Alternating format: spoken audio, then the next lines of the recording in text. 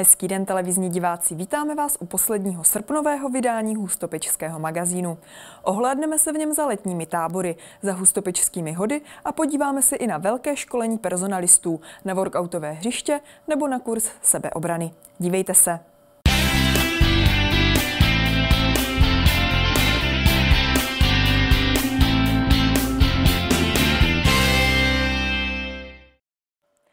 Hůstopeče v minulých dnech navštívila čtveřice předsedů nejvyššího soudu.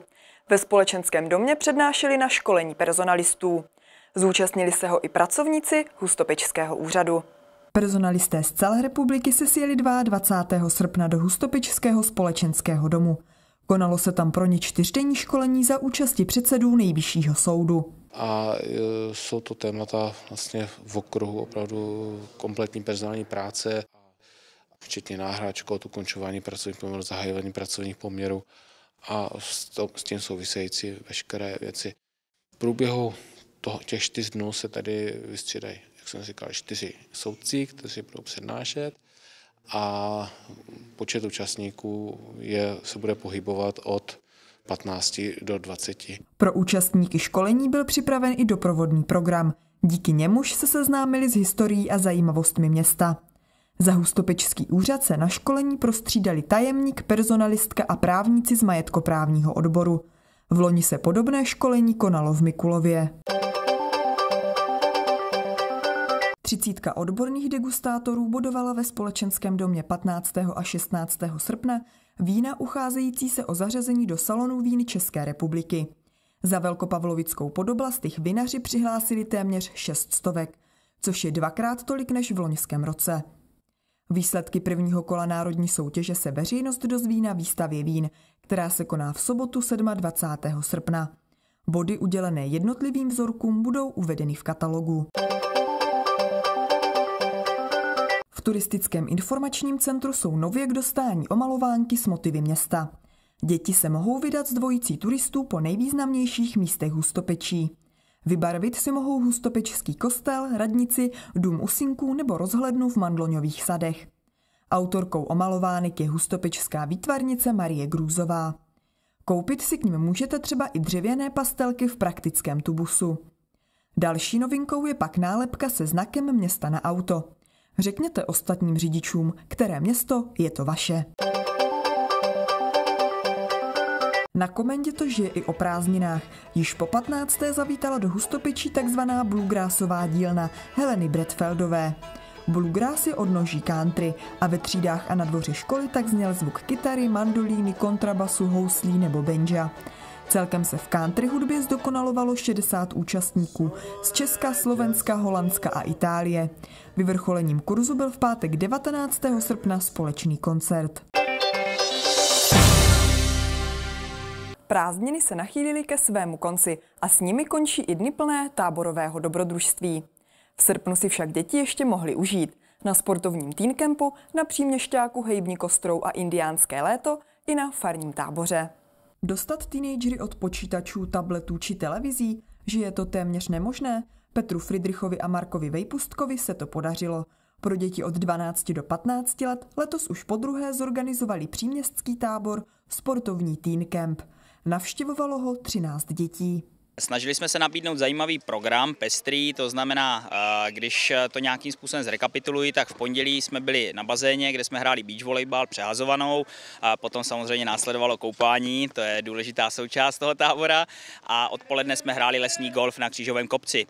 V úterý jsme potřebovali načerpat síly, protože eh, nás čekala dlouhá cesta 35 kilometrů eh, kolem čtyř rozleden, tady v Ústopečích, Bořeticích, Pavlovicích a ve Starovičkách. A završili jsme to v M-klubu samozřejmě na pingpongovém stole jako pátý vrchol dobitý. Po náročném cyklovýletu následoval ve středu odpočinek v podobě návštěvy zábavního vědeckého centra. Ve čtvrtek si už ale teenageři dali opět do těla – Hráli florbal a odpoledne je čekala střelba ze vzduchovky. Zítra v pátek pojedeme sjíždět z Vratku eh, od Zežidlochovic do Němčic nebo do Boudek. Uvidíme, jaká bude situace, jak se nám to bude líbit a, a myslím, že si to řádně užijeme. Jako vlastně celý týden. Hej, hej, hej, my jsme nej A týden v pohybu si mohli v polovině srpna užít i ti mladší. Pod vedením Dariny Zemanové se konal příměšťák s názvem Hejbní kostrou a neb týden v teniskách. Tak máme tady 26 dětí přihlášených. Je to tábor zaměřený na sport. Nazvali jsme to Hejbní kostrou a v podstatě je to o tom, že e, úplně mi nejde o to, aby jsme tancovali nebo dělali gymnastiku, ale spíš je to zaměřený všestranně ten tábor, takže my jsme tady vyzkoušeli těch sportů víc. Jezdili jsme na kole, tancovali jsme, lektory tance jsme tady měli, gymnastiku zkoušíme, e, čeká nás taky výšlap. Podstatou tábora bylo dělat veškeré činnosti v pohybu, a to třeba i takové, u kterých se běžně sedí nebo nehnutě stojí. Děti si tak například mohly vyzkoušet malování triček v běhu, pohádkovou cestu v pohybu nebo netradiční olympiádu. Tak, jak se vám tady líbí a co vás třeba zaujalo nejvíc, co jste tady zatím zažili za ten týden? Kreslení triček. Uh, koně. No, mě ten hip-hop. Jo, to tam bylo super, no. A uh, mě třeba ještě bavilo, jak jsme dělali trička. Zažila jsem tady, že hodně tancujem. Kromě sportování však na účastníky táboru čekal například i výklad dopravního komisaře z městského úřadu, který dětem v souvislosti s jejich cyklovýletem povídal o bezpečném chování na silnicích. Již tradičně také pořádala tábor Hustopečská farnost. Letos se z dětí na farním táboře stali vesmírní cestovatelé na meziplanetární výpravě. Tábor nesl název do nekonečna a ještě dál a dokonce měl letos dva turnusy pro mladší a starší účastníky. Prostřednictvím táboru se také děti rozloučili s děkanem Pavlem Kavkou a seznámili se s jeho nástupcem Janem Nekudou. Konec prázdnin potom mohli děti strávit v M-klubu na příměšťáku s názvem Indiánské léto. Za týden se převtělili v pravé, rudé tváře. Takže jsme na příměstském táboře, jsme v M-klubu v Ústopečích a já jsem indián od Lípero. Vedu tady 26 dětí k tomu, jak se stát pravým indiánem. A co všechno děti zažili?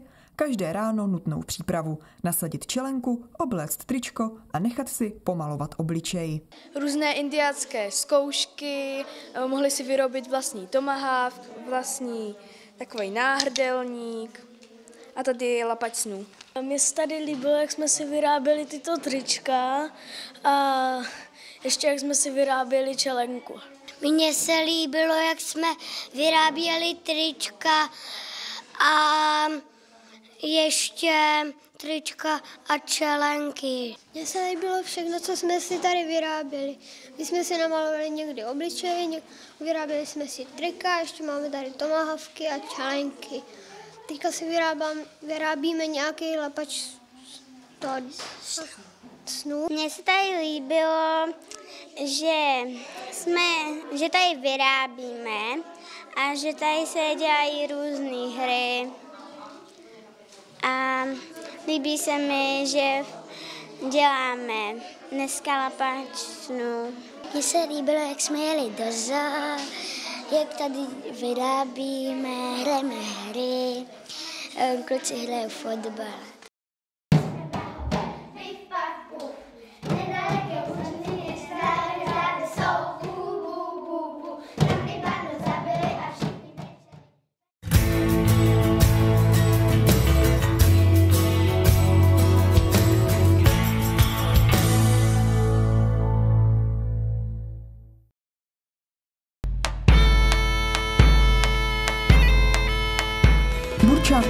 Mázhauzy, historický průvod, kapela No Name, Lenka Dusilová nebo Jaroslav Uhlíř se svými písněmi, které znají malí i velcí.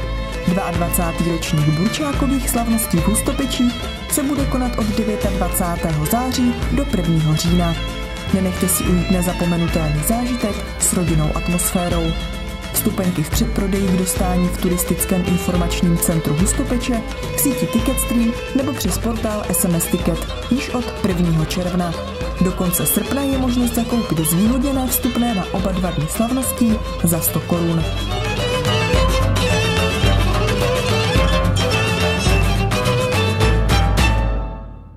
Půlka srpna znamená pro hustopečskou chastu vrchol celého roku. Konají se totiž krojované hody. Ty letošní hodnotí první pár kladně. Celkem přišlo na večerní zábavy přes 700 návštěvníků.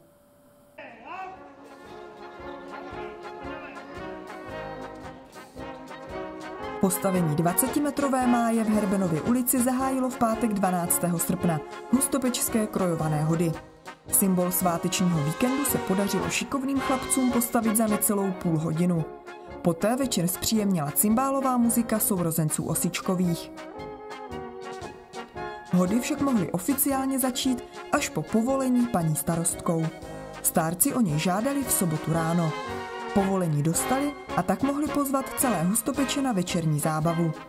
Na place před společenským domem vyhrávala dechová hudba Lácaranka. Zatancovat si přišlo přes pět stovek návštěvníků a skoro 50 přespolních krojovaných. Hodovou neděli zahájila mše v kapli svatého Rocha na Křížovém kopci.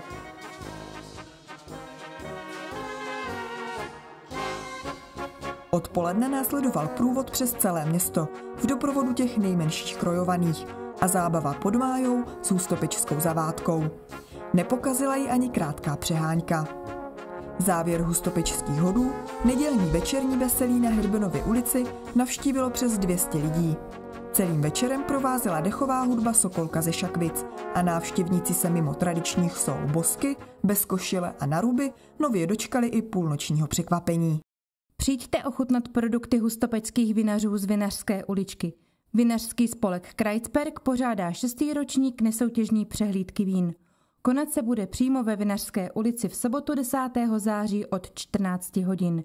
K poslechu bude hrát cymbálová muzika Donava, připraveny budou i domácí a kulinářské speciality. Akce se koná za každého počasí. Podpořte stavbu kaple v Zambii. Římskokatolická farnost Hustopeče ve spolupráci s městem pořádá benefiční koncert. Konat se bude v sobotu 3. září v 19 hodin v kostele svatého Václava a svaté Anešky České v Hustopečích. Na Varhany bude hrát varhaník a zbormistr z katedrály svatého Petra a Pavla v Brně Petr Kolář. Přítomný bude i Jáhen Gerald Deka ze semináře v zambijské Lusace. Povypráví o své zemi i o jáhenské službě. Dobrovolným vstupným podpoříte stavbu kaple.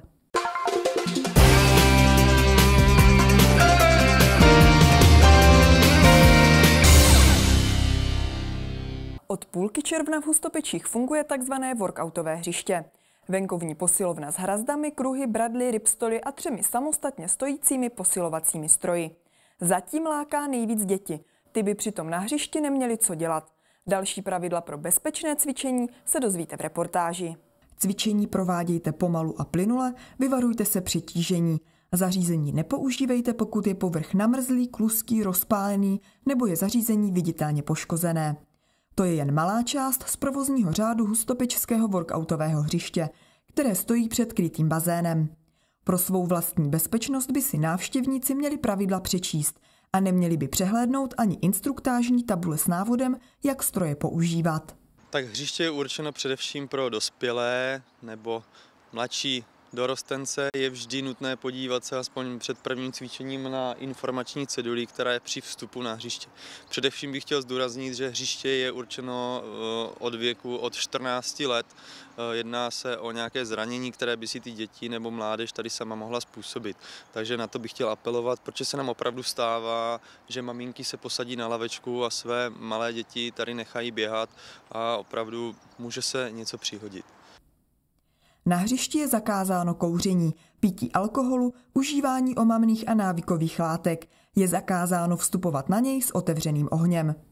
Stroje mají nosnost 120 kg. A i když se na nich cvičí svahou vlastního těla, je nutné se předem rozcvičit. Určitě jako před každým cvičením je potřeba to tělo zahřát. Jo, není možné dojít, hned se pověsit a začít dělat nějaké těžké cviky. Samozřejmě to zranění není, nehrozí tolik jako u cvičení s nějakými těžkými váhami a s činkami. Eh, ohledně nějakých těch cviků a pravidel, na každém stroji je návod na boku, na samolepce, k čemu ten daný prvek slouží, jakým způsobem by se na ně mělo cvičit. Samozřejmě spousta návodů je dnes na internetu, na YouTube, na sociálních sítích, kde je možné tady toto najít a inspirovat se. A kdo si netroufá začít sám, může se obrátit na Kateřinu Čačíkovou. Lekce na workoutovém hřišti vedla po celé prázdniny, každé středeční ráno. Na podzim plánuje vyhradit cvičení ve venkovní posilovně některé odpoledne. Bližší informace najdete na Facebooku Koupaliště Hustopeče. Ty skupinky už se pomalu tvoří, Uvidíme, jak dopadne tato sezóna, já bych to radši hodnotil až začátkem té příští. Součástí workoutového hřiště jsou i tři samostatně stojící stroje na posílení nohou a jížďových svalů. Na posílení svalů pasu a zpevnění zad a na rozvoj svalů horních končetin. Ty jsou určené i pro seniory a děti. U těch nejmenších je ale opět nutný dohled rodičů. Samozřejmě eh, podle mého bychom to mohli ještě zvýraznit tady určitou tabuli, nějaké cvičební prvky, tak aby ten návštěvník, který nemá e, zkušenosti s workoutovým hřištěm, tak aby, aby přišel, podíval se na tu, na tu tabuli a pár takových základních cviků na protažení a na, na využití vlastně těchto přístrojů, aby, aby si mohl tak nějak zacvičit a najít si k, tomu, k tomuto koutku, sportovnímu koutku, jak se říká, přístup a nějakou zálibu. V plánu jsou také ještě úpravy okolí hřiště. Trávu částečně nahradí kačírek a oblásky. Nevzhlednou počmáranou zítku zkrášlí streetová výmalba. Veškeré novinky můžete sledovat na facebookových stránkách Workout hřiště Hustopeče. Všechny už se někdy dostali do nepříjemné situace, kdy nevěděli, jak zareagovat. Setkali se s obtěžováním. Příště už ale vědět budou. Pětice ženy letos v létě navštěvovala intenzivní kurz sebeobrany pod vedením Antonína Gruzy. Techniku pádu, obranu včetně krytu a úderů, kopy, páky i různé scénáře proti napadení se o prázdninách učila pětice žen na třetím ročníku intenzivních kurzů sebeobrany pro ženy a dívky. Pod vedením Antonína Grůzy z Ázia Budocentra se scházeli jednou týdně v nově otevřeném hustopečském fitness centru. Se adeptky naučili v tomto kurzu vlastně základy prevence kriminality, eh, základní údery, kopy, chvaty. Eh, vlastně eh, my se snažíme na tu dobu, co se vlastně děje kolem nás, reflektovat, takže jsme upravili jednotlivé ty techniky tak, aby byly vlastně účinný na ulici. Kdyby chtěl kdokoliv z útočníků vlastně nějakou adeptku přepadnout, tak pevně doufám, že už bude vidět, jak z té situace se dostat. Vzhledem k tomu, že máme asi všechny nějakou nemilou zkušenost, když jsme se dostali do nepříjemné situace nebo nám eh, byl někdo nepříjemný a nevěděli jsme, jak zareagovat. Eh, tady to byl prostředek jedinečné eh, využití tady tohoto, jakože Tonda nám ukázal, jak použít vlastní tělo, jak se máme zachovat, jak se máme pohybovat, co můžeme použít. Já myslím, že nám to dalo tohleto jako strašně moc. Určitě bych to doporučila všem adeptkám, nebo který by se chtěli nějak zúčastnit, poučit, něco naučit. Určitě. Těch věcí, co jsme se naučili, opravdu hodně. Teďka je důležité si to zapamatovat, ale třeba co bylo super, tak Tonda nás vlastně učil, jak správně padat, což je taky perfektní věc a hned jsem teda to zúročila. Pro účastnice kurzu bylo připraveno během dvou měsíců 16 lekcí. Jejich učitel Antonín Gruza však doufá, že nabité zkušenosti a znalosti nebudou muset v praxi nikdy použít. Co se týče vlastně celkově toho cvičení, my jsme rádi, že fungujeme jako prevence, to znamená, pokud adeptka nikdy nepoužije ty naše údery a chvaty, co jsme je naučili, budeme za to rádi. Vždycky je nejlepší, pokud možno z té situace eh, vlastně vybruslit tak, aby se tomu dotyčnému nic nestalo. Poslední lekce sebeobrany se konala v pondělí 22. srpna. Absolventky na ní dostali certifikát o ukončení kurzu. Další lekce, tentokrát už pro smíšené kolektivy, odstartují už 1. září. Bližší informace na www.asiabudocenter.eu nebo na telefonním čísle 721 328 832. Hustopečský magazín s pořadovým číslem 363 končí. Nový díl budeme mít připravený v pátek 9. září. Nalaďte si nás. Na viděnou.